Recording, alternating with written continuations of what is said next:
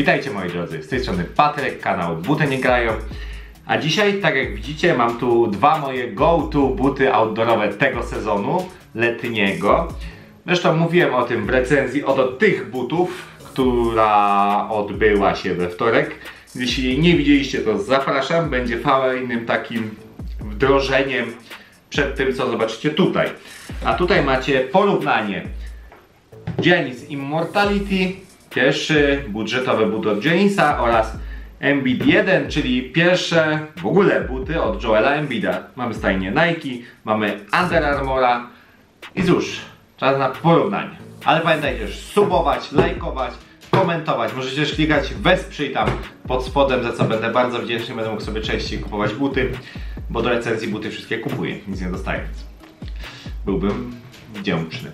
Dobra, co jest nie tak z tymi butami? A tak serio to nie ma z nimi nic nie tak. Ja, oba buty były moimi go-to butami w ten sezon cały letni, więc ja pa, obie parki propsuję. Jeśli chodzi o użytkowanie, w szczególności na outdoorze, no bo większość lata grałem na outdoorze. I co mogę o nich powiedzieć? No mogę je porównać, czyli pierwsza kategoria, cena do sztosa. I ciężko tu sztosy, ten but jest dużo krócej. Tutaj jakieś fajne się pojawiały CW, naprawdę. W Embitach było kilka fajnych CW, na przykład to biało-złote, taki clean look, ale ja uważam, że był sztosik.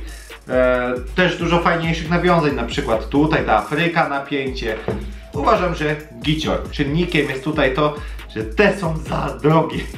Te są dużo taniej, są za 329 retail i jeszcze na pewno będą w końcu na promocjach ponad minus 50%, więc będzie się je dało wyrwać za 160 zł. Moi drodzy, no ja osobiście kupiłem je na 44% zniżce, więc uważam, że ta cena dekasuje. Co by tu nie było, no to ciężko przebić 160 zł, 170 zł nawet nie będzie, 180 no, ciężko to przebić, bo to jest odpowiednia cena za but. I pierwszy punkt leci tutaj. Mamy 1 do 0. I cóż dalej? No dalej możemy porównać oczywiście trakcję.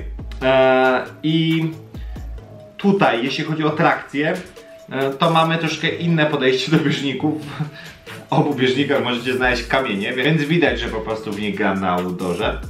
I powiem wam tak. Troszkę inne podejście kompletnie trakcji. Tutaj mamy taki zwykły bieżnik, jak bardzo często spotykany w innych butach. Tutaj mamy takie fale jakby dźwiękowe, albo na wodzie jakby się rozchodziły. Tutaj jakbyście wrzucili Afrykę na wody. no. I powiem wam, że trakcja w Embidach dla mnie jest lepsza.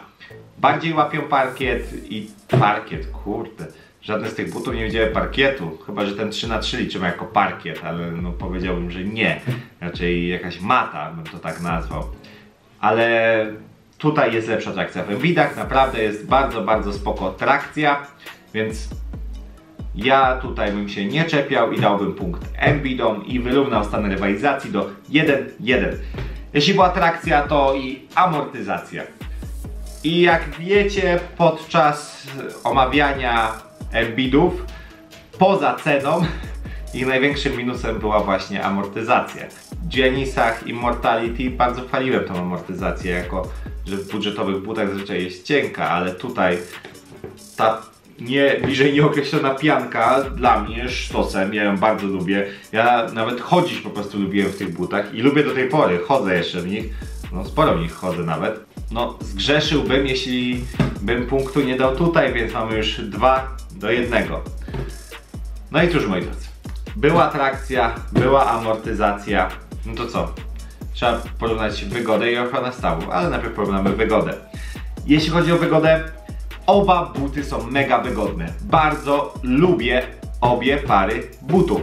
Ciężko tutaj znaleźć coś, co tam... Um, czasami jest tak, że możecie się do czegoś dopieprzyć w danym bucie, albo że po prostu wam nie siedzi. Tak będzie we wtorek. Oj, we wtorek, moi drodzy, będzie recenzja butów, w których złapałem cztery kontuzje. Więc tam nie będzie miło. Ale to dopiero we wtorek, teraz tutaj, tu nie mam się do czego doczepić w obu parach butów. W obu nic mi się nie stało, zawsze było mi wygodnie, nigdy nic mi nie obcierało, więc ciężko się do czegoś doczepić. Tutaj naprawdę różnica jest kompletnie minimalna. I minimalną różnicą wygrywają Embidy, ponieważ są bardziej delikatne, e, cholewka fajniej oddycha, ten język jest super milaśny i są troszeczkę bardziej, ta pianka jest lepszej jakości. Tutaj ta pianka jest taka troszkę bardzo po biedzie, tutaj jest lepszej jakości ta pianka wokół stawu skokowego, więc dam punkt tutaj i wyrównujemy rywalizację do dwóch do dwóch. I ostatnia kategoria ochrona stawów. No to powiem Wam, że ochrona stawów tutaj będzie na bardzo zbliżonym poziomie, ponieważ oba buty są bardzo podobne.